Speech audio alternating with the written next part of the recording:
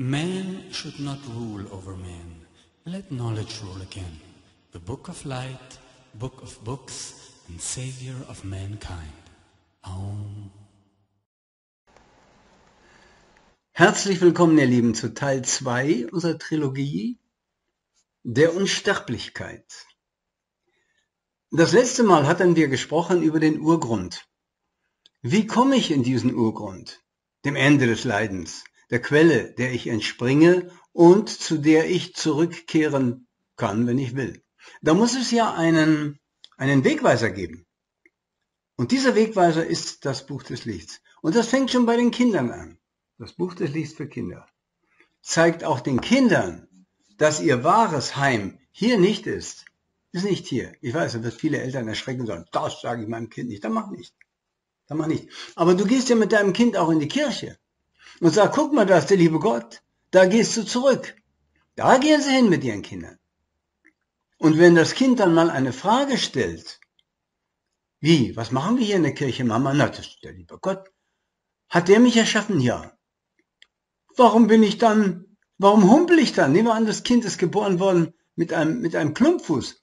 Hat der liebe Gott den Klumpfuß gemacht? Nein, mein Kleiner, das ist so, also, ähm, stell doch nicht so dumme Fragen. Nee, nee, nee, meine Lieben. Unsere Kinder sind schlauer, als ihr denkt und die Zeit ist gekommen. Würde schon sagen, Kinder an die Macht. Dass die Kinder endlich das werden. Schaut mal. Das sollen sie werden. Glücklich. Heute sind sie nicht glücklich. Sie werden verdorben und werden verkokst. Augenblick. Stimmt alles? Ja. Stromzufuhr. ja, durch die Supermärkte, die Computer, diese ganzen Dreck, durch Pornos und alles, da könnt ihr ja schon im Internet schon ganz rein, ohne irgendwas. Ja, meine Lieben. Naja, gut. Also, wollen wir mal nicht zu äh, dominant sein, obwohl das Buch des Lichts ist die absolute Dominanz. Es führt uns zurück in den Urgrund, falls wir dahin wollen. Da sollten wir aber mit, bei den Kindern beginnen und ihnen sagen, nicht der liebe Gott hat dich erschaffen, sondern du. Du. Ich? Wie? Und dann erklärt man den Kindern den, den, das Prinzip von Karma und Reinkarnation, zeigt ihnen zum Beispiel schon im Buch des Lichts für Kinder, wie das Ganze funktioniert. Schau mal hier. Das ist nur mal ein Überblick. Auf der einen Seite siehst du den toten Menschen, die Leiche, und die Wesenheit verlässt den Körper. Und getrieben vom Verlangen nach einem neuen Leben, die Wesenheit sinkt in einen neuen befruchteten Schoß. Und so bist du zu deiner Mama gekommen. Ja, ist ja meine Mama schuld, wenn ich einen Klumpfuß habe. Nein, ist sie nicht schuld. Das Kind ist nicht das Produkt seiner Eltern. Das Kind ist das Ergebnis seines eigenen Handelns. Ein Kind war im vergangenen Leben eben auch ein Erwachsener. Ein Erwachsener, es sei denn, es ist als Kind gestorben und so weiter. Das heißt also, du musst, solltest deine Eltern lieben. Denn sie geben dir die Möglichkeit, dein Karma auszuleben. Und dann wirst du nicht mehr sagen, der und der und der ist schuld, sondern du wirst die Verantwortung bei dir selbst suchen. Und das ist, meine Lieben, Buch des Lichtslehre. Verantwortung bei sich selbst suchen. Für alles, alles, was dir geschieht. Das hast du verursacht. Und was du anderen antust, antust, schaut mal hier, liebe Kinder. Schaut mal hier, ein Beispiel. Schau mal, wenn dir jemand was an den Kopf schmeißt. Das kriegst du zurück. Und hin und her, bis der Mensch lernt. Und um den Leidensprozess zu, nicht so lange zu halten, haben wir das Buch des Lichts für Kinder. Dann können die Kinder das lesen und können sich vorbereiten weiter auf die Schrift. Das sollte übrigens jeder Erwachsene auch lesen, sage ich. Also gut. So, jetzt dieser Urgrund, von dem wir gesprochen hatten das letzte Mal. Was ist das? Wie kommen wir dahin?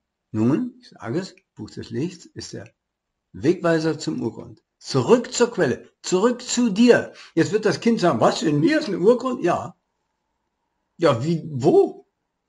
Wenn du jeden Tag ein bisschen ruhig wirst, dich mal ein halbes Stündchen hinsetzt oder hinlegst, geleitet durch das Buch des Lichts, meditierst, Seelenatem Meditation, wirst du sehen, dass du nicht dein Körper bist. Denn du wirst dich völlig vom Körper lösen, du wirst sogar glücklich sein und wirst denken, na nu, ist da noch etwas? Ja, das wahre Selbst. Und um in den Urgrund zurückzukommen, muss man einiges wissen. Einige Tatsachen aus dem Buch des Lichts. Der Baum saugt ja auch seine Kraft aus dem Boden. Und so kannst du deine Kraft aus dem Urgrund saugen, wenn du sie nicht zu sehr ver vergeudest in der Welt mit Computerspielen, den Dreck aus dem Supermarkt, jetzt schon fast gesagt, frisst, der dich krank macht, sondern wenn du deinen Eltern das Buch des Lichts gibst auch und dass sie sich gesund ernähren und nicht mit diesen Geschmacksverstärkern, die uns alle versklaven. So, jetzt habe ich es gesagt. Wenn man in den Urgrund will, meine Geliebten, dann muss man sich zurückziehen. Schau mal, wenn du vor einem Zimmer stehst und du willst in einen abgeschlossenen Raum für dich, du musst in den Raum reingehen. In den Urgrund kehren wir zurück, wenn wir uns auf dieses Kernhafte in uns zurückziehen, mit Hilfe von Meditation. Ja. Da lösen wir uns von allem. Das klappt nicht gleich beim ersten Mal. Aber wir werden sehen, obwohl wir uns lösen von all diesen vergänglichen Strukturen, verbleibt doch immer noch etwas. Zerstört ist man nicht. Man ist, man könnte sagen, frei von allem Vergänglichen, ja, und als veränderlich erfahren. Naja, wenn ich mir die Inder anschaue und die Neuplatoniker, die sind ja auch diesen Weg gegangen. Nur wie weit zurück zur Quelle? Das ist die Frage. Wie weit? Haben Sie vielleicht vorher angehalten, halten die Christen, Muslime und jüdischen Freunde vielleicht beim Himmel der Religion an, obwohl da noch etwas ist tiefer drin? Meine Lieben. Und der Meister Eckhart hat das auch gesagt. Wer, wer Gott finden will, der, der sucht in sich selbst. Und wird sehen, dass er Gott ist. Jawohl, liebe Kinder, ihr seid Gott. Götter im Werden. Und ihr könntet das ganz leicht rausfinden, denn Fünfjährige haben bereits diese Strukturen verstanden.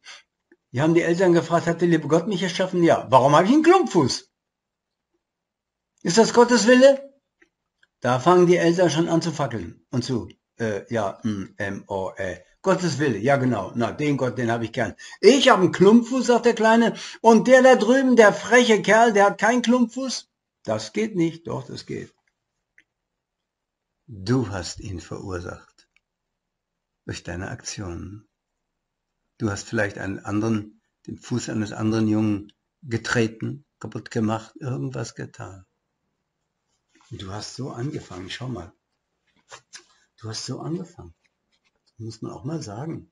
Sagen dürfen muss man das. Schau mal. Hm.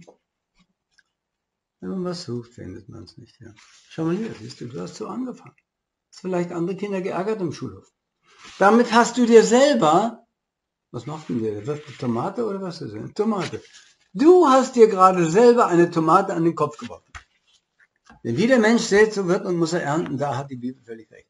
Das heißt also, mach das nicht mehr. Sei lieb zu den anderen Kindern. Und wenn jemand die verhaut, hilf denen. Sonst wirst du als Opfer wiedergeboren. Und schau dich um in der Welt. Weißt du, dass 25.000 Kinder jeden Tag verhungern, während es dir gut geht? Was glaubst du wohl warum? Jetzt könntest du natürlich sagen, ja, dann haben die es ja verdient. Dann haben die es doch verdient, was die gemacht haben.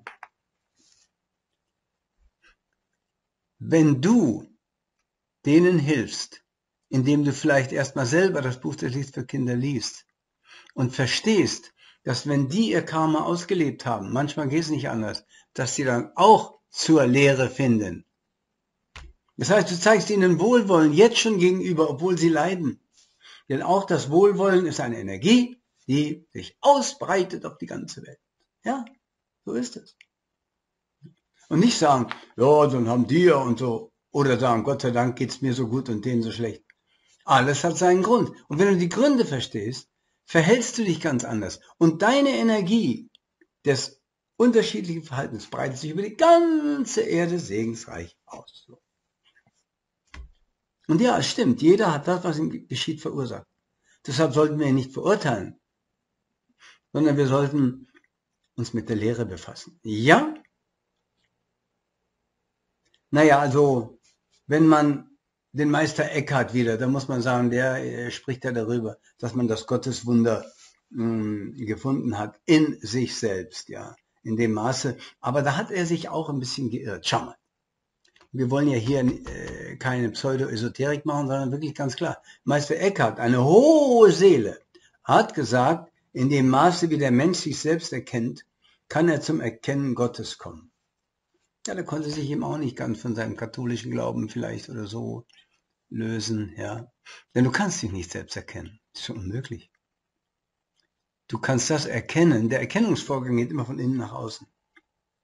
Der Erkennende ist doch nicht das Erkannte. Das versteht ja ein Fünfjähriger. Wenn ich dieses Buch sehe, das da liegt, jetzt hier mir hinlege, dann bin ich das doch nicht. Dann bin ich Subjekt, da Objekt. So muss man sich das vorstellen. Das heißt also, die ganze Welt wird belogen und betrogen von diesen Pseudogurus auf dem Internet in diesen Wochenendseminaren, wo die sagen, du kannst dich selbst finden. Das ist unmöglich. Du kannst dich nicht selbst erkennen. Das ist ein Schwindel hoch drei. Ich verlange Tausende von Euros. Ich nehme kein Geld von meinen Büchern, brauchst nicht denken. Seit 30 Jahren, das darf ich nicht. Man hat mir das diktiert und ich musste versprechen, kein Geld dafür zu nehmen. Davon. Auch nicht bei Vorträgen. Nein, nein, nein, nein, nein. Die Bücher, das, die kosten Geld, das sind Produktionskosten für den Verlag und so weiter. Aber ich? No. Also. Das ist natürlich, äh, mein Lieben, kein bequemer Weg. Wir, wir watschen, hätte ich schon fast gesagt, immer auf der Oberfläche rum. Ja, wie der Ameise im zweidimensionalen Raum oder so. Wir watschen auf der Oberfläche herum. Von der, vom, vom Kern kriegen wir nicht viel mit. Kriegen wir nicht viel mit, ja. Also, und die Oberfläche ist eben vergänglich, die ist eben das, wenn wir uns damit identifizieren, dann leiden wir. Und darum enthüllt sich der Grund uns nur, wenn wir das Außen loslassen. Dann kommen wir zum Innen. So einfach ist es. So einfach. Ja. Und die ganze Erscheinungswelt erklärt sich dann, mein Lieben. Die ganze Erscheinungswelt. Jetzt müssen wir aber natürlich, das ist ja ein gewaltiger Schritt, den man da unternimmt, ja, den muss man jetzt auch beweisen, in Nachweis erbringen. Wir sind ja Teil 2 der Trilogie, Trilogie, Trilogie, Trilogie der Unsterblichkeit. Also, wir haben den, sagen wir mal, den Urgrund bis jetzt, auch die Wissenschaft, die sucht ja auch den Urgrund, leider draußen gesucht. Und da ist er nicht. Genauso wenig wie im Wasser das Trockene ist, ist der Urgrund da draußen. Da steigen sie in ihren Raketen, verschmutzen das Universum machen, verdrecken die Erde und landen auf dem Mond, auf dem Mars und legen dort ihren Dreck auch ab. Wisst ihr, liebe Kinder, die Erde, schau mal, die Erde, von der wir hoffen, dass ihr lieben Kinder euch darauf versteht, warte mal, schon mal hier, gibt es eine schöne, eine schöne Zeichnung. Hier, schau mal. Ja, wenn das denn so wäre, wie das hier, das wäre schön. Aber eigentlich, wenn ich die Wahrheit, wenn man die Wahrheit gezeichnet hätte, dann müssten die Kinder auf einem Haufen Dreck stehen sie. Auf einen verdreckten, stinkenden, stinkende Erdkugel. Nein, sie ist nicht flach, sie ist eine Kugel. Ja. So weit ist schon gekommen. Und das muss man ja nicht, die haben schon recht mit ihren Protesten, nur sie wissen nicht genau, was geht. Wir müssen die Zielrichtung ändern. Ich habe es immer wieder, nicht mehr nach draußen uns weiterentwickeln und verdrecken und verschmutzen, sondern nach innen. Wir müssen gewisse Dinge, die wir glaubten gebraucht zu haben, da müssen wir verstehen, dass wir die gar nicht mehr brauchen. Das war alles unnütz. Quatsch. Ja? Schaut euch den Dreck an in den Supermärkten, sage ich immer wieder. Und in den, in den Computerspielen und dieser Quatsch, da wird die Aggression der Kinder noch mehr verstärkt. Dann werden sie noch wilder und böser. Und die Eltern respektieren sie auch nicht mehr. So. Also. Da äh, die Frage wird von allen Philosophien gestellt. Wo kommt das alles her? Und da ist man dann, weil man nicht die Lehre hat, das Buch des Lichts, hat man sich auf einen persönlichen Gott geeinigt. Den hat man auf den Thron gesetzt. Eine, ein Fantasiegebilde von Menschen, die der Lehre nicht kund oder kundig waren. Ja? Und hat gesagt, daher kommt's. Das ist Gott, der Schöpfer. Ach wirklich? Gott erschafft ein Kind im Klumpfuß, der andere nicht. Ach, verstehe. Ja, alles in Ordnung, klar, ja. Und dann sagen die lieben Christen und Muslime, ja, er hat dir einen freien Willen gegeben, sage ich, das ist noch schlimmer. Jetzt geht's Gott an den Kragen. Jetzt gehört er ans Kreuz genagelt. Aufgrund seiner Allwissenheit muss Gott doch gewusst haben, wie der Mensch den freien Willen benutzt. Na, jetzt kriegt er aber eins auf die Mütze. Gott sei Dank gibt es einen solchen Gott nicht. Und darum schlagen sie sich ja auf die Schädel ein in Israel da und mit den Palästinensern und so weiter. Wegen einem Tempelberg, einem König Solomon, einem David, einer, einer Via Dolorosa, einem Jesus, das alles hat nie existiert. Schon gar nicht da. Und wie es wirklich war, da müsstet ihr die wahre Bedeutung der Bibel lesen. Die kann es euch dann sagen. Ja. Man hat aber damals die Inder einfach nur einen Gott draufgesetzt. Da ist der Boss. Und das haben sie gleich gemacht. Sie haben ihn verehrt, angebetet und ihm geopfert. Und in der Bibel wissen wir von dieser Perversion, dass Gott sich erfreut am Duft des Brandopfers der gebrannten und, und, und geschlachteten Tiere. Ja, seid ihr denn mit dem Klammerbeutel gepudelt? ihr Narren. Naja. Aber auch da kam denen dann bald irgendwie auf, na, da stimmt was nicht. Da stimmt was nicht. Mit dem lieben Gott. Ja. ja. Das kann nicht sein. Der kann das nicht erschaffen haben. Absichtlich. Richtig. Aber du hast dich absichtlich so geschaffen. Du konntest gar nicht anders. Und jetzt ist die Zeit gekommen, dass du geleitet durch das Buch des Lichts dir dessen bewusst wirst und endlich loslässt und, und umkehrst zurück zur Quelle. Und da haben sie auch geschrieben, wer hat gesehen den zuerst entstandenen, den knochenhaften, trägt der knochenlose. Meine Lieben, die Menschheit war mal knochenlos, das ist richtig. Vor der feststofflichen Menschheit gab es eine feinstoffliche nahezu durchsichtige. Ja. Die lebte nur von transparierendem und osmosisch durchlaufenden Äther. Da wurde kein Leben zerstört, meine Lieben. Aber es hat uns ja nicht gefallen. Seht die Vögel unter dem Himmel. Sie sehen nicht, sie ernten nicht. Der Herr ernährt sie doch. Und was haben wir gemacht? Ja. Wir wollten mehr, mehr, mehr. Und so haben die Menschen die Tiere abgesondert. Die Tiere stammen vom Menschen ab, lehrt das Buch Lied. Und nun frisst man sich gegenseitig. Leben kann nur auf Kosten anderen Lebenserhalten werden. Gott sei Dank, und Gott gibt's nicht, aber Gott sei Dank ist auch die Zeit der Geschlechtertrennung bald vorbei, wie im Buch des Lichts vorausgesagt. Es wird keine in Männern und Frauen getrennten mehr geben.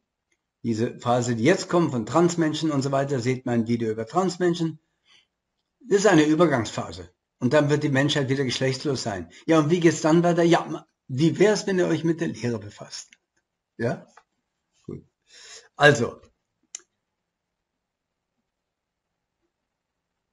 diese Formen, das haben die lieben Muslime, Christen und jüdischen Freunde und natürlich auch die Inder nicht verstanden. Darum brauchen wir das Buch des Lichts.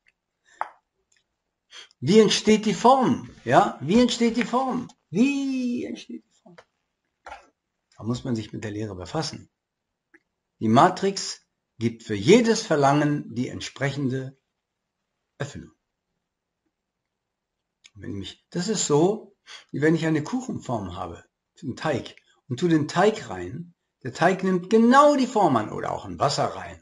Aber der Teig ist besser, wenn der dann, hm, sagen wir mal, äh, abkühlt und so, dann hat er eben diese Form. Und deshalb haben wir oder waren wir viele Male Mineral, viele Male Pflanzen, viele Male Tiere, viele Male Menschen, bla bla bla und so weiter. ja, meine Lieben, mit einer gewissen Leichtigkeit sollte man das Ganze schon nehmen. Dann ist es nämlich gar nicht so schwer. Und die Wissenschaftler sind ja wütend auf mich. Auch die Archäologen und Astronomen und so. Archäologen auch. Ich beweise in meinem nächsten Video, was ihr bald sehen werdet, dass es den König Solomon gar nicht gab, dass es die ganze Geschichte nicht gab. Die schlagen sich die Schädel ein um etwas, das es nie gab. Auch kein Tempelberg, auch kein Via Dolorosa, nichts, man kann es nicht oft genug wiederholen. Da seht ihr mal, wie, wie kindisch die sind. Ich will keine Kinder beleidigen damit. Ja, gut. Und was ist also der Glanz in mir, in uns? Das ist äh, das, was verbleibt, wenn ich mich von allem gelöst habe. Da verbleibe ich, da sterbe ich nicht, da verbleibe ich. Das ist das wahre Leben und es hat keine Dauer. Es ist nicht unendlich unsterblich. Eine Unsterblichkeit, die einen Anfang hat und kein Ende, das gibt schon mal gar nicht. Das ist auch wieder kindhaftes Denken. Wunschdenken ist das. Mehr nicht. Was entsteht, muss vergehen. Es sei denn, ihr kennt jemanden, der entstanden ist, der entweder nicht vergehen wird oder der nicht ver vergangen ist. Gut. Man ist immer noch unversehrt, selbst wenn man sich von allem löst. Ich bin nicht der Körper, ich habe einen Körper. Wenn ich das hier abnehme, bin ich immer noch da. Als Kleidung, ja? Und so haben diese lieben Menschen auch schon in den Veden, die nur noch übertroffen werden natürlich vom Buch des Lichts, diese Menschen haben festgestellt, dass unser Körper nicht das eigentliche Selbst ist. Richtig, richtig. Und wir wollen jetzt mal sehen, das kann man gar nicht oft genug wiederholen. Ich hoffe, unsere lieben fanatischen Krishna-Leute hören zu, damit sie sehen, warum sie auf dem falschen Pfad sind. Oder sagen wir mal so, nein, warum sie noch nicht das Endziel erreicht haben. Ja? Das Endziel, gut. Der Körper ist ein Upadhi. Upadhi lehrt das Buch des Lichts, lest Band 13 Sanskrit, eine Beilegung. Und ähm, ja, wenn der Körper eine Beilegung ist, wenn Sie fragen, was ist denn dann, was ist denn dann das wirkliche Selbst? Ja? Da sagen die lieben Upanishaden, Itimaya Shrutan, das, was übrig bleibt, wenn man vom Körper absieht. Wir haben auch gesucht nach dem wahren Selbst. Ein Junge, der schlau ist, schon ein kleines Kind, was sagt, Augenblick, ich bin ja nicht der Körper eigentlich. Der verändert sich ständig. Ich war ja mal ein Baby. Hab ich gesagt, ich will jetzt erwachsen werden? Das habe ich doch nicht gesagt. Das verändert sich trotzdem. Ja, dass du das gewollt hast, das ist die Ursache aus vergangenen Leben. Und der Wachstumsprozess wird mit und ohne, ohne deine Zustimmung stattfinden. so geht's los. Ja. So. Was ist dann das wirkliche Selbst, haben sie gefragt. Was übrig bleibt. Das Geistige. Das Geistige. Nun lehrt das Buch des Lieds, dass die genau darin geirrt haben. Denn das, was die als Geist verstehen, ist nichts anderes als eine, die feinstoffliche Hülle, die noch verbleibt, wenn wir von den anderen Hüllen uns lösen. Das heißt, du bist kein Geist, du hast nur einen Geist. Auch das Geistige bist du nicht. Ja. Wir sagen in, in Schlaf, in der Reinheit und so weiter, bist du im Geistigen. Das ist richtig, aber das bist du nicht. Wenn man sich auch, wenn man das versteht, dann strebt man auch an, mehr nach innen zu gehen. Das heißt, man strebt an, sich mehr vom Außen zu lösen. Und dieses Geistige, was die da sagen, das ist auch noch äußerlich. Denn der Geist ist nichts anderes, was die unter Geist verstehen, als eine Verlängerung des Körpers eine Bewusstseinsstufe. Du bist nicht dein Bewusstsein, du hast nur ein so radikal, ist natürlich radikal, ist das Buch des Lichts. Ja? Denn auch die Tätigkeit des Geistes, meine Lieben, ich sage immer, der Mensch ist ein geistiges Wesen, ja, aber damit meine ich was anderes. Kommt mal darauf an, was man damit meint.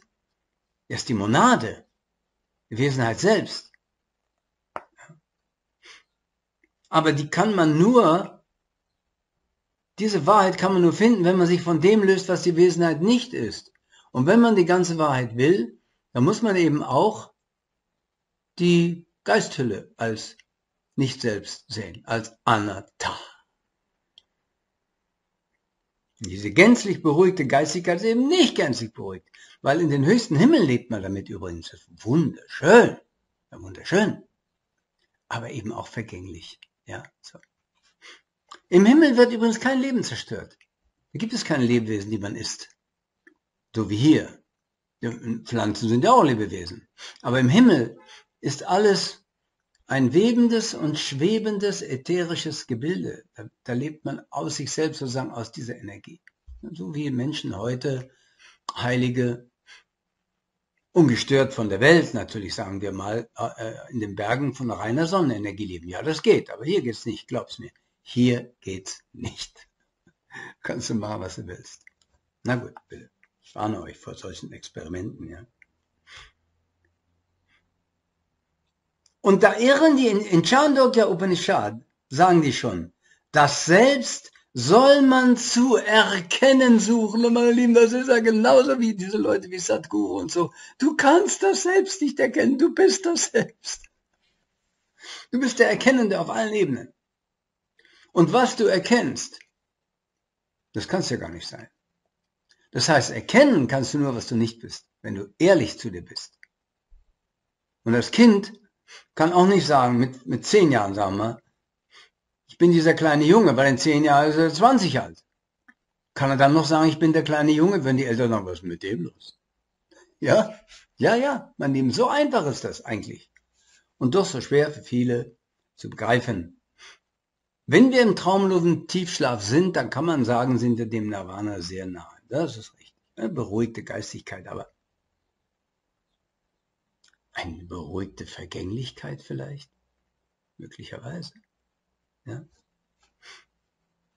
Und da gibt es diese schöne Geschichte in den Veden, die das ganz klar zeigt. Die gehen zu ihrem Guru und sagen, wer, was sind wir? Sagt er, macht euch mal schön putzig, schön was anziehen und so. Und dann schaut man in diese, in diese Wanne im, im, im See da ins Wasser rein. Und was habt ihr gesehen? Ja, uns schön geschmückt und verputzt und alles. Das seid ihr, hat er gesagt. Ach, danke, haben die da, danke, dass du uns das gesagt hast. Sind also weggegangen. Nach einer Weile ist dem einen aber vielleicht ein Auge ausgefallen oder ein Zahn oder irgendwas, ja. Und er sagte, oh, ich glaube an der Lehre des Meisters, da irgendwas hat der uns da falsch gelehrt. Wir gehen mal wieder zurück. Ja, hat er gesagt. Euch hat das nicht befriedigt? Nö. Wir haben gesehen, das sind wir nicht, das rausgeputzte. Ach, wirklich? Sehr interessant. Naja, sagt er, deshalb schmückte er dann auch die Leichname so mit Sachen, mit dem Plunder, damit sie in der Nachwelt dann das auch noch haben, oder? Ja. Hm. Dann sagt er, jetzt passt mal auf, ihr seid ein Geist, sagt er, der im Traum fröhlich herumschwebt und der einmal hier ist, mal dort, ja, und so weiter. Und da waren die ganz beglückt, sind die weggegangen. Plötzlich der eine mittendrin hatte einen Albtraum gehabt oder was. Ich dachte, da war ich ein Monster. Hab jemand anderen Unrecht getan. Im Traum. Das kann ich doch nicht sein. Sofort zurück zum Meister. Ach, sagt er, das bist du auch nicht. Das ist interessant. Könnte es sein, sagt der Meister, dass du die falsche Angehensweise hast? Könnte es sein, dass du bereit bist für die Lehre, alles, was du wahrnimmst, bist du nicht. Alles, was du als veränderlich wahrnimmst. Und das ist eben die Schwierigkeit, mein Lieben, über die Upanishaden und die Krishnaiten und Brahmanen nicht konsequent weitergedacht haben. Ja? Du machen? Ja, der Putelis lässt dir da keine Ruhe. Kannst du noch so viel Hare Hare, Krishna Krishna singen, das, ja? Denn du bist ja auch nicht die Stimme. Du bist auch nicht diese Schwingung. Du bist nicht der Körper, der da singt. Du benutzt den, ja, gerne. Ja. Und da lesen wir, Satyanati Paradharma, O Magavan, sterblich für war ist dieser Körper vom Tode besessen. Er ist der Wohnplatz für jenes unsterbliche, körperlose Selbst. Besessen wird der Bekörperte von Lust und Leid, und weil er bekörpert, weil er bekörpert ist, ist keine Abwehr möglich der Lust und des Leidens, den Körperlosen aber berühren Lust und Leid nicht. Ja, was ist denn dann die Konsequenz? Wenn man nicht mehr unter den eigenen äh, Begehrensattacken und so weiter leiden will, von Empfindungen getroffen. Körperfrei sein. Aber körperfrei, das haben die eben nicht verstanden, ist man erst, wenn man wirklich sich von allem gelöst hat in der Meditation. Auch von der sogenannten geistigen Hülle, den die Geist nennen. Und das ist dann der angemessene Zustand. Ja. Und da kann man sagen, also da haben dann die Upanishaden gesagt, das ist der Urgrund, geistige Selbst. Ja. Aber es ist eben auch eine begrenzte Sichtweise, weil sie haben gesagt, was das ist. Versteht ihr? Besser ist zu sagen, was es nicht ist. Ja, das geht. Das. Da kann ich immer recht haben. Wenn ich wissen will, was die, was, äh, welchen Kern die Nuss hat, dann mache ich es auf. Ich entferne das, was der Kern nicht ist. Ja? Voll beruhigte, unsterbliche Geistigkeit haben die Brahmanen und so weiter gesagt. Ja. Sie haben gesagt, dass man frei ist, wenn man eins mit Brahman ist. Und das, liebe Brahman, ist eben falsch. Denn Brahman ist bereits eine manifestierte Supermonade. Und wenn du mit der eins bist, wenn du mit der eins bist, bist du immer noch diesseits der Welt der Erscheinung. Noch ein Stückchen. Lass auch Brahman los, liebe Brahmanen. Traut ihr euch? Oder seid ihr, und die gibt es ja, diese ungeheure Seligkeit des Brahman. Wir haben hier die Sanskrit-Schrift äh, ganz klar, die sagt, Aham Brahmasmi, Aham Brahmasmi. Ich bin Brahman ist für diese lieben Menschen der höchste Zustand. Du bist aber nicht Brahman. Du bist da vielleicht mit ihm eins drin, aber du bist nicht Brahman.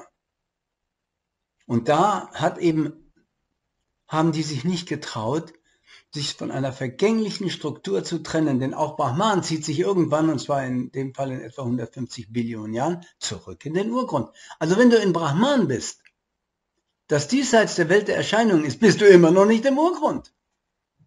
Im Urgrund bist du, wenn du dich auch von Brahman löst. Ja, liebe Brahman, Krishna hinten, seid ihr bereit für diese radikale Wahrheit? Radis, radikal, Wurzel. Wir wollen doch zur Wurzel zurück. Die Wurzel ist nicht die erste Erscheinung im Universum, das ist nämlich Brahman oder Christus, wie du es nennen willst. Die Wurzel ist der Urgrund. Dem entspringen wir, dem entstammen wir, da gehören wir hin, wer wirklich seine ganze Kraft zusammennimmt und sagt, ich bin bereit, mich von allem zu lösen. Meine Lieben, das ist eine Million Jahre zu früh. Aber ich habe nun mal versprochen, darüber zu sprechen, also mache ich. Gut. Die haben gesagt, atmen Atman, also der Geist, ist Brahman. Könnte fast sagen, Sie haben gesagt, die Monade, denn Atman ist nach Buch des Lichts auch die Monade. Die Wesenheit selbst ist Brahman. Nein! Nein! Haben Sie das Gotteswunder haben Sie dann durchdrungen. Satyanasti Paradherme. So habe ich gehört.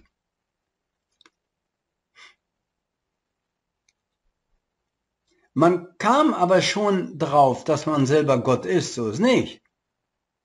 So heilig waren die schon. Aber sie haben gesagt, Brahman ist er. Und in Brahman löst er sich auf. Das stimmt nicht, das kann er gern machen. Das kann er gern machen. Aber das Buch des Lichts, da will ich euch mal was sagen, ist der Lehrer für Menschen und Götter, auch für den höchsten Gott. Das Buch des Lichts ist höher als Gott. Weil es auch Gott diesem Brahman, der Supermonade, eine, eine Ausweich, eine Flucht Fluchtmöglichkeit gibt. Zurück. Naja. Und das hat ja Meister Eckhart auch verstanden, wenn er gesagt hat, äh, der Mensch ist in Wahrheit Gott und Gott ist in Wahrheit Mensch. Er hat wieder gesagt, ich erfahre, empfange in diesem Hindurchbrechen, dass ich und Gott eins sind. Das ist schon wieder eine Beschränkung.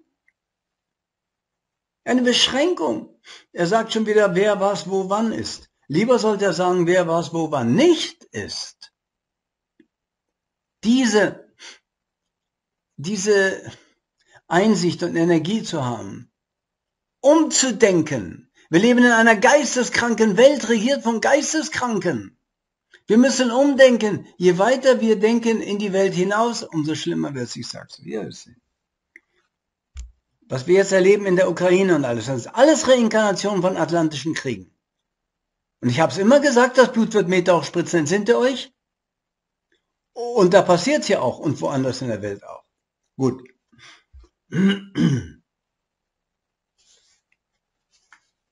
Aber es gibt auch,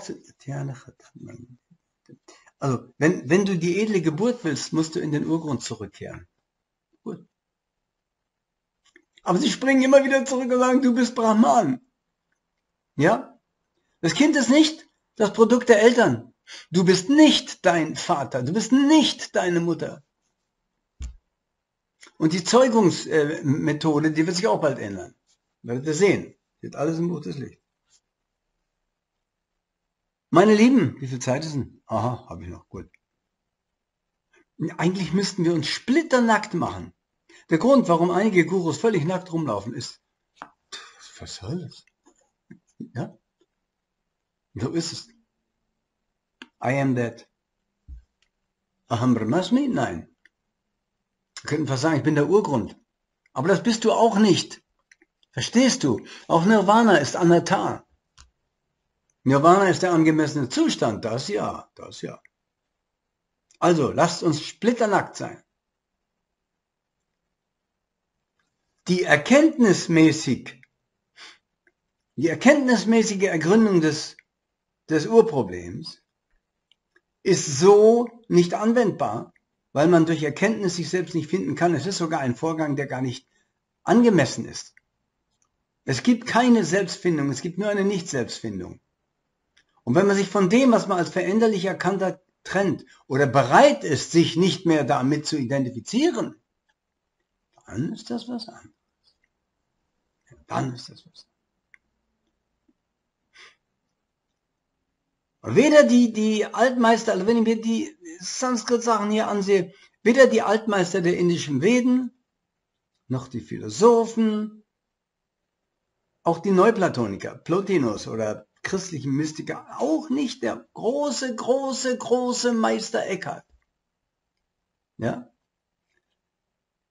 Der ist wirklich in die Tiefen unseres Wesens gedrungen, meine Lieben. Und das werdet ihr jetzt sehen. Wir drängen langsam dazu. Diese Aufhellung des wirklichen Urgrundes, das ist dem Buch des Lichts vorbehalten und seinen Schülern. Ja? Darum ist das Buch des Lichts eben das Buch der Bücher. Und ich würde jetzt nicht sagen Retter der Menschheit, weil vielleicht will die sich gar nicht retten lassen. Das ist mir egal. Macht, was ihr wollt. Ich gebe das hier nur weiter. Ihr könnt auch immer wieder reinkarnieren. Ich sage euch nur, es gibt noch etwas anderes. Ihr könnt zur allerhöchsten Wirklichkeit erwachen. Ja? Denn schaut mal, alles Leiden, ist doch bedingt, ob hier auf dem Mars, ob, bei den, ob in einem äh, anderen Planeten. bei jeder Struktur ist das Leid immer bedingt durch den Körper. Durch Entstehen und Vergehen, Krankheit, Tod und so weiter. Ja? Und Lao Tse hatte völlig recht, als er fragte, was kann den noch quälen, der kein Leib mehr hat. Was kann mich dann noch quälen? Ich brauche kein Leib mehr. Ich muss mich auch nicht ernähren, ich brauche gar nichts. Das sagt Lao und man hat ihn nie wirklich verstanden. Der lief da immer nur so rum, so. Er wusste selber nicht, was er da machte, aber viele haben erkannt, das ist ein Heiliger. Aber äh, der lief so rum, was? So wie dieser eine Philosoph, der mit einer, mit einer Kerze, mit einer Laterne tags durch Rom gelaufen ist. Haben die gesagt, was machst du? Der sagt, ich suche Menschen, Menschen. Ging der Lautze, der, der wo reinkam, der war, der hat es, pass mal auf, der hat sich bewegt wie ein Autistischer. Der war wie, wie als ob er ein, eine, äh, wie soll man sagen? Ja, der hat sich, der hat sich nicht am Platz gefühlt. Der hat sich ständig fehl am Platze gefühlt, der Lautze. Wenn der wo war, dann Deshalb hat er sich in sich selbst verkrochen, war allein unter der Brücke und so weiter. Sobald er einen anderen Menschen sah, denn er war ja nicht im Urgrund. Er war nicht im Urgrund, er wusste aber, da ist der Urgrund, aber ich bin da, sagt er. Ich will, ich, ich habe hier gar nichts zu tun, doch, doch, hatte er.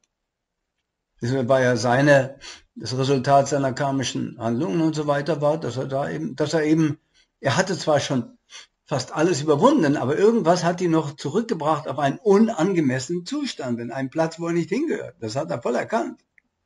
Das Anatar der Welt hat der erkannt. Er hat gesagt, ich weiß nicht, was ich, ich weiß nicht mal, was ich sagen soll. Ich, ich, ja, ja, so ist das, wenn man sich nirgendwo zu Hause fühlt. Nirgendwo.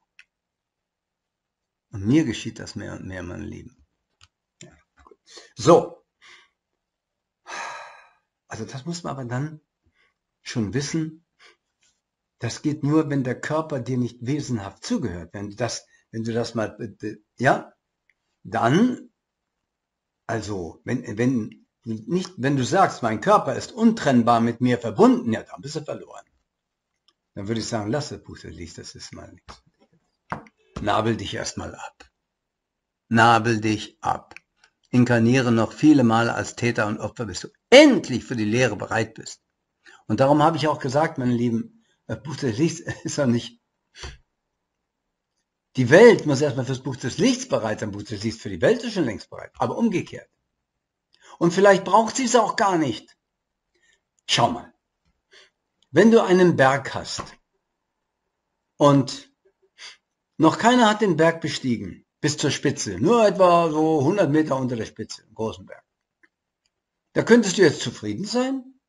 Wenn du den Berg hochkrabbelst und sagst, jawohl, hier waren die anderen auch, wunderbar, du guckst mal hoch, oh, da ist ja noch was. Na, nichts für mich. Aber irgendeiner kommt und sagt, Augenblick mal, da ist ja noch was. Da muss ich wissen, was das ist. Ja? Ja? Was könnte den, den noch quälen, der keinen Leib hat? Ja, das ist dann eben diese Sache. Ja? Aber leidfrei kannst du nur werden, wenn du dich körperfrei gemacht hast. Wenn du, oder, pass auf. Wenn du nicht mehr sagst, das bin ich, sondern das bin ich nicht. Und den Begriff ich mit Bedacht benutzt. Unter Vorbehalt. Ja? Und die vedischen Seher, wenn ich in, also die haben das auch erkannt, aber eben nicht in letzter Konsequenz. Das tut nur das Buch des Lichts. Darum ist das Buch des Lichts natürlich jeder Schrift auf Erden überlegen. Auch jeder wissenschaftlichen Schrift. Und darum sollte es Pflichtlektüre werden an Schulen und Universitäten. Es gibt also eine reine, von jeder Körperlichkeit freie Geistigkeit, einen, einen sogenannten körperlosen Geist. Gibt es nicht. Es gibt es nicht. Eine Geistigkeit ist immer ausnahmsweise, ausnahmslos an eine körperliche Form gebunden. Ja? Hat ja der, der Alexander auch gemerkt. Alexander der Große, der 1,50 war. Sokrates war sein Lehrer. Nee, Aristoteles war sein Lehrer. Hat gesagt, du bist der mächtigste Mann auf Erden. Hat gezeigt mir, wie es geht. Hat gezeigt. Dann war er der mächtigste, hat Indien klein gehauen. Nee, äh, ja, nee, Quatsch, Ägypten. Auch Indien auch, Ägypten als klein gehauen. So. Er war aber immer noch unzufrieden, das kleine Männlein. Und da hat er gesagt, ich will unsterblich werden. Und kam zu einem Guru. Hat gesagt, kannst du mich unsterblich machen? Der Guru hat nur angeschaut. Und mit 30 ist Alexander gestorben. So, das ist die Lektion, mein Lieber. Die Bibliotheken hat er zerstört in Alexandrien, wo unsere geliebte Patita wohnt, Patita Dikshita, die so viel fürs Buch des Lichts getan hat. Die Illustrationen und Ratschläge und so weiter. Zusammen mit Nila Kanta Agni natürlich. Naja, gut. Nicht? Viele Schriften sind verloren gegangen, aber das Buch des Lichts ist jetzt da. Was war das Endresultat der ganzen vedischen Weisheit? Die reine Geistigkeit. Und sowas gibt es nicht. Die Monade ist, wenn überhaupt etwas, die Wesenheit, ein Punkt ohne Ausdehnung. Jetzt mach was draus. Das ist eine gewagte Definition. Darum sollte man sich lieber dem zuwenden, was man wahrnimmt und sagen, es verändert sich, da bin ich nicht. Also reine Geistigkeit, das ist eine, ich weiß nicht, wie ein eisernes Stück Holz oder sowas. Jede körperliche Form ist dem Tode unterworfen. Dem Tode. Ja, muss man sagen. Und darum gibt es auch keinen unsterblichen Geist und es gibt auch keinen unsterblichen Körper. Die Monade ist zeitlos ewig die, Wesen, die Wesenheit. Die wurde nicht, schau mal. Was die Religionen von ihrem angeblichen Gott behaupten, dass keiner ihn erschaffen hätte, dass der immer da war, das lehrt das Buch des Lichts von allem. Alles ist immer da und manifestiert periodisch. Drei sind immer da. Alle Wesenheiten. Der Urgrund, die Urmaterie. Wenn die Wesenheit den Urgrund verlassen und in die Matrix fallen, dann entstehen die Formen äh, gebildet aus der Urmaterie, die abstrakter Natur ist, von diesem Standpunkt aus gesehen. Und so entwickeln sich die Formen. Die Urmaterie ist wie Kuchenformen in der Bäckerei. Die eine Form hat eine Sternform, die andere hat ein, eine andere Form, dann sieht aus wie eine Banane oder wie ein, wie ein wie ein kleines Tier, irgend sowas, ja, wie ein Elefant, Marzipanelefant. Ja. So immer das, was der Bäcker da reintut in die Form. Und was ihr reingetan habt, ihr als Wesenheit, in die Matrix, diesen Verlangenszustand, dem hat sie Rechnung getragen und hat euch die Form serviert, bitte. Und ihr durchdrungen, ich auch von von Verlangen, von Gier, von Trishna, von, von Durst, haben uns identifiziert mit dieser Form. Und wenn wir so und so und so und so lange im Mineral waren, da haben wir uns gedacht, das kann's nicht sein. Und wieder hat die Urmaterie unserer neuen entstehenden Gier die Form gegeben. Ja, Pflanze. Vom niedersten bis zum höchsten Struktur. Dann gibt die fleischfressenden, fleischfressenden Pflanzen, die der Übergang sind der Monade von Pflanze zum Tierreich, ja? Naja, gut. Ich bin wieder ins Tausendste. Schaut mal. Geist, das musst du dir mal vorstellen, liebe, liebe Brahmanen und so weiter. Geist ist immer gleichzusetzen mit Bewusstsein. Und Bewusstsein bist du auch nicht, das hast du nur. Du hast zum Beispiel ein Riechbewusstsein. Das entsteht durch, durch Berührung ja, durch Einschlag des Geruchs, des Materie. Es gibt Leute, die können sich satt riechen. ja, die, die Köche, die stehen lange in der Küche, die sagen, wenn ich jetzt dann was essen soll, ich habe schon die ganzen Gerüche eingeatmet, dann habe ich schon keinen Hunger mehr. Naja. Also es gibt ein Hörbewusstsein, ein Riechbewusstsein, ein Schmeckbewusstsein, ein, ein Denkbewusstsein. Und genau das alles bist du nicht. Und darum sind diese armen, irregeleiteten Möchtegern-Gurus auf dem Internet und sonst wo, die sagen, du sollst dein Bewusstsein erweitern. Ja, bist du denn von Sinnen? Lösen kannst du dich von deinem Bewusstsein. Du sollst bewusst frei werden, wenn du möchtest. Denn ein Bewusstsein ist immer nach außen gerichtet. Natürlich kann man sich, wenn man sich vom Bewusstsein löst oder in der Meditation, erlangt man ein etwas, ja, ein etwas geistigeres, feinstofflicheres Bewusstsein. Das stimmt. Aber da darfst du nicht wie die Veden das machen und die Brahmanen und die Christen, Muslime und alle mehr oder weniger, da darfst du nicht verbleiben, wenn du denn die Spitze des Berges willst. Du musst dich auch von dem Bewusstsein lösen. Das geschieht durch Beobachtung der jeweiligen Situation. Und du wirst sehen, das wird machen, bumm, und dann bist du plötzlich von den Hüllen frei. Bei manchen geschieht's, haben wir schon beschrieben. Übertreib's nicht, wenn du keine Störungen äh, haben willst. Stück für Stück kommt das Glück, das wahre Glück. Ja? Denn du empfindest ja zuerst was und dann nimmt man das Empfundene wahr und dann überdenkt man das und so weiter und so weiter. Und das fasst man dann zusammen unter dem Begriff Geist. In Nirvana gibt's keine Ohren, gibt's keine Nase.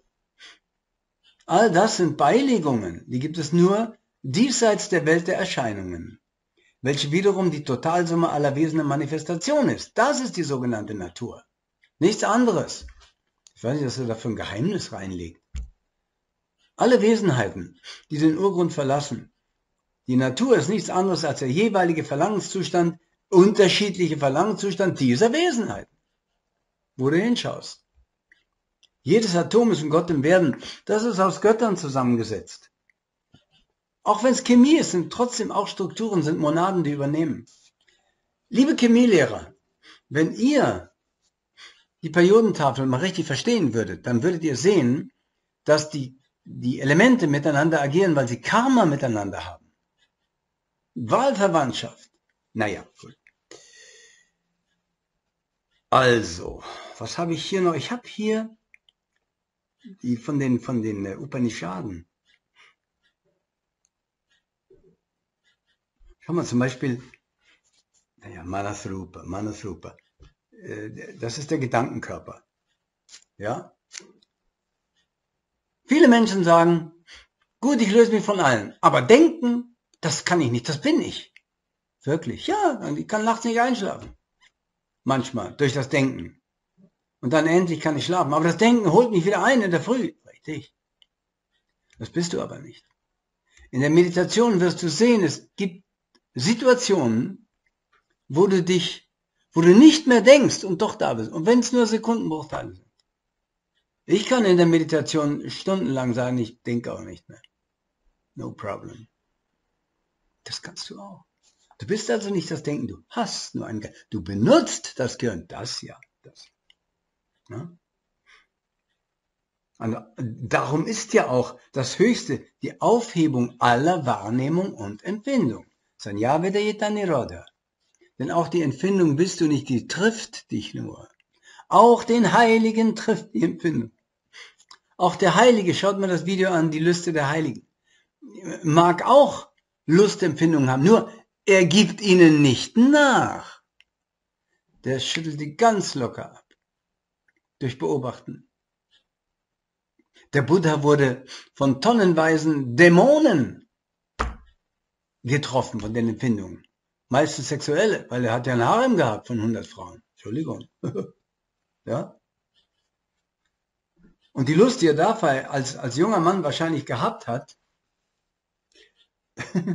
die, äh, die hat er dann, hat ihn da eingeholt. Na gut, egal. Es gibt also keinen selbstständigen Geist ohne einen Körper, ist ganz unmöglich. Ja, ist das nicht Materialismus? Nein! Wir tragen dem berechtigten Einwand des Materialismus, des Materialismus Rechnung, dass es einen Geist ohne Körper nicht geben kann. Wir sagen nicht, es gibt die Wesenheit nicht. Wenn diese lieben Menschen sagen, der Geist, dann meinen die die Wesenheit selbst und das ist eben nicht das. Weil sie immer noch einen Zustand beschreiben. Ein kleines Stückchen noch, von dem man sich lösen könnte, wenn man es denn will. Ja? Na Lieben, mal sehen, wie viel Zeit ist vergangen. Ja, jetzt bald wieder für den Teil. Oh je, oh je, oh je, oh je. Na gut. Ja. Trilogie.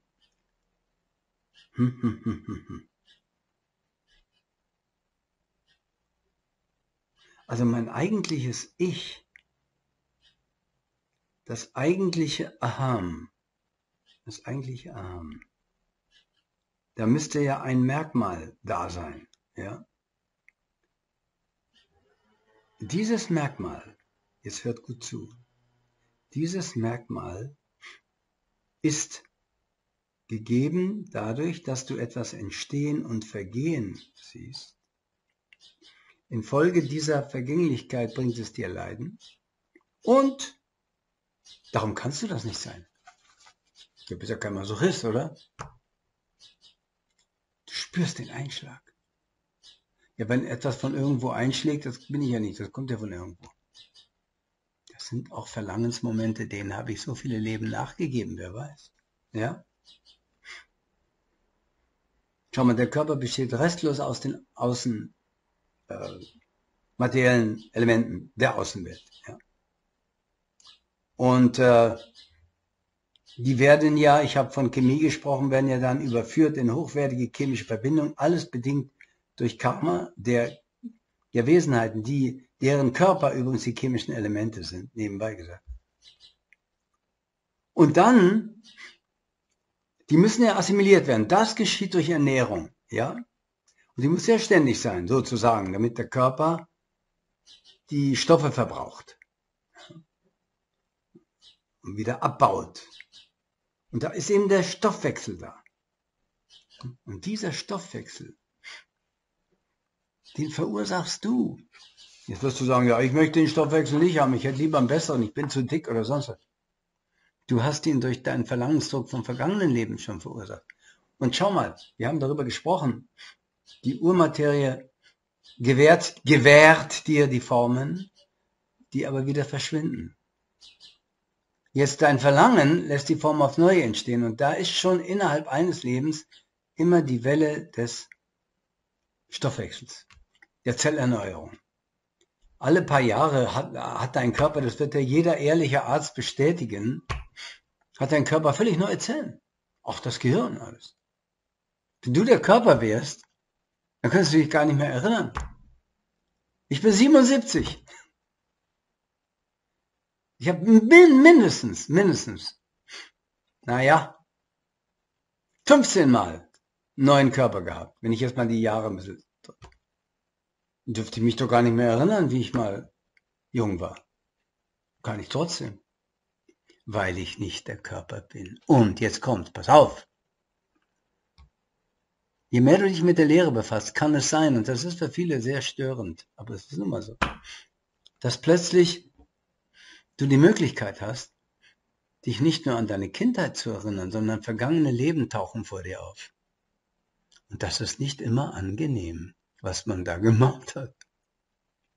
Aber wenn das passiert, bist du trotzdem schon bereit, durch die Lehre gestellt und du weißt.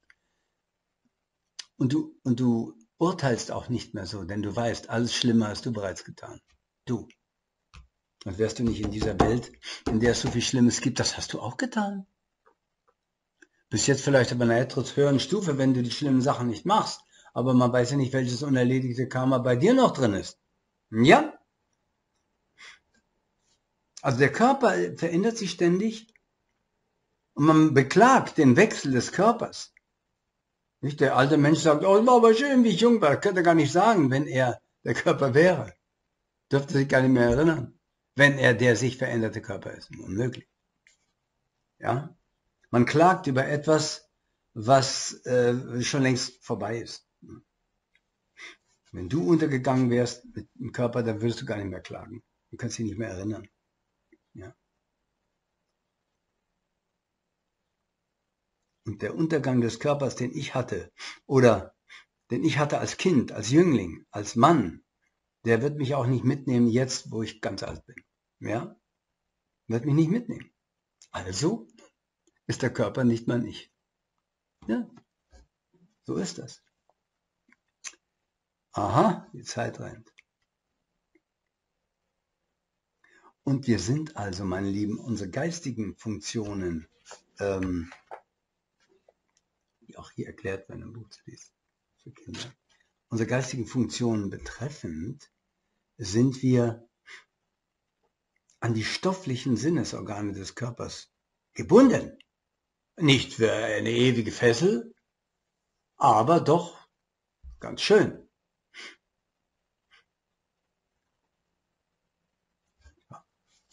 Und das ist eben der, der Zustand, schau mal, die gesamte Menschheit heute, uns eingeschlossen, ist in einem derartigen Anhaftungszustand, der ist aber nicht mehr ganz so schlimm wie früher.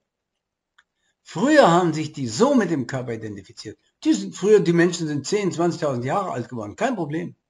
Und trotzdem war Körperlichkeit da. Anhaftungspotenzial. Ja.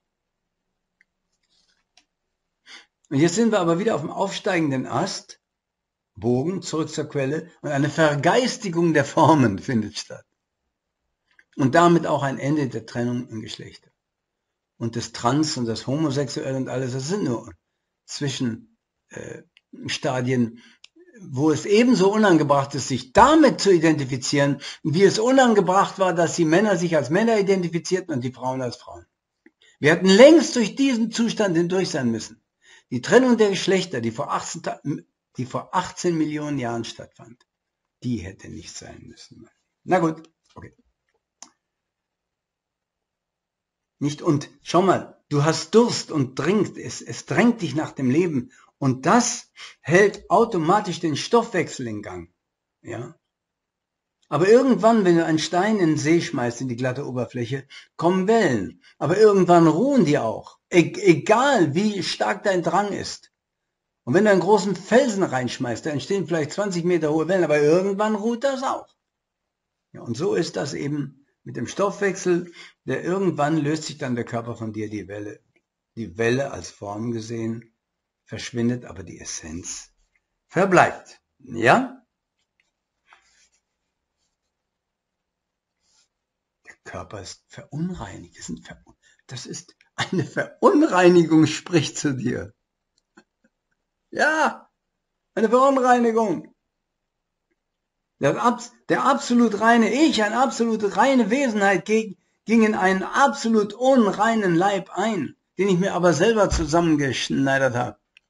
Den habe ich verursacht, sonst gar niemand. Ja. Und da kommt die Verliebtheit in den Körper. Stolz. Wisst ihr, warum ich, ich habe jetzt schon über 10 Kilo abgenommen, warum ich nochmal 5 Kilo abnehmen werde, dann bin ich 55 Kilo. Ich will schlank sterben. ja? Wenn ein fetter Mensch stirbt, ist der Verwesungs- und Ablösungsvorgang im, im, von, der, von der Wesenheit, die mit der Leiche noch verbunden ist, kann sehr unangenehm und schmerzhaft sein. Ja. Dann lieber verbrennen. Denn die ganzen viralen Krankheiten und alle, die kommen alle aus prä- und postatlantischen Zeiten dann sind die Menschen, wie die gestorben sind, sind ihre Krankheiten auch in, den, in der Erde verrottet und haben den ganzen Erdball verschmutzt. Daher kommen wirklich die viralen Krankheiten. Ja, auch aus Laboratorien und so. Na, lassen wir das. Gut. Und da muss ich sagen, da, wenn ich mir äh, Likavya Mahalis und Nikaya, ich das übersetze, der absolut reine geht in den absolut unreinen Leib ein. Da habt ihr's. Der absolut, und wir spielen damit wie mit Sandburgen. Und das ist Samyutta Nikaya äh, 23, da steht ganz drin mit Knaben und Mädchen gegenüber diesen Sandburgen, sind nicht frei von Gier, von Wunsch, nicht frei von Zuneigung und Durst. Solange sind sie diesen Sandburgen zugeneigt, sie ergötzen sich an ihnen, sind besorgt um sie, betrachten sie als zu sich gehörig. Sobald sie aber gegenüber diesen Sandburgen frei geworden sind von Gier, von Wunsch, frei von Zuneigung und Durst, bringen sie mit Händen und Füßen diese vergänglichen Formen zum zur Vernichtung, zerstören sie, hören auf mit ihnen zu spielen. Das ist natürlich keine Aufforderung zum Selbstmord, meine Lieben, ja, müsst ihr nicht denken. Aber das sagt ihr ganz gleich, ebenso Radha. Bringe du den Körper und Geist zum Zusammensturz, vernichte sie, zerstöre sie, höre auf mit ihnen zu spielen, widme dich der Vernichtung des Durstes nach ihnen. Und wenn uns da ein Durst ankommt, von dem wir wissen, er sollte, wenn wir dem nachgeben, ist das ganz schlecht. Wir beobachten ihn mit scharfer Achtsamkeit. Und ich garantiere euch, früher oder später, wenn wir ihn meditativ beobachten, wird das Verlangen verschwinden. Ja, einer gesagt, er hatte eine Erektion. ja. Hat er mal gehabt. Und da hat er einfach das mal beobachtet und ist sie verschwunden. Na gut, so wir das Thema jetzt mal lassen. Ja? So ist das. Meine Lieben, und im, im Teil 3, da werden wir uns mit dem Thema befassen, was sind wir dann, wenn wir weder Körper noch Geist sind? Der Mensch will ja immer eine Definition. Es gibt da keine Ruhe. Ehre sei dem Buch des Lichts.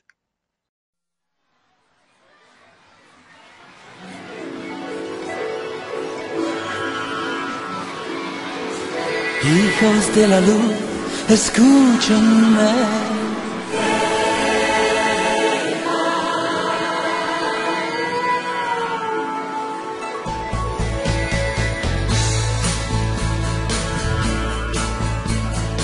Vienen de todas partes a ver el ángel de la luz y se toman de las manos y se esperan hasta la noche.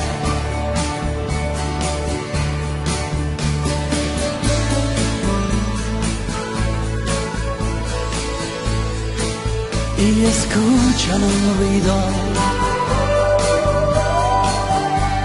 y ven una luz.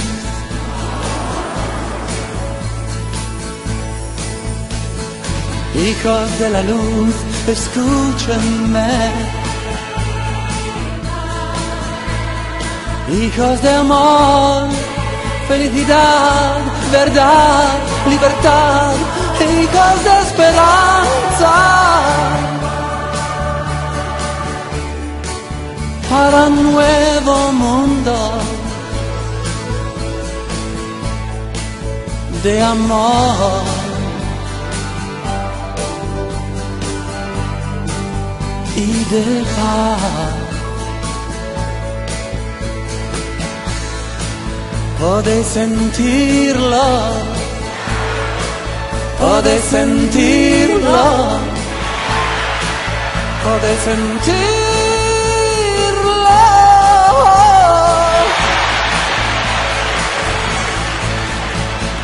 Vengo de otro mundo. Yo soy el ángel de la luz. Yo os mando un mensaje de amor y de paz para toda la humanidad.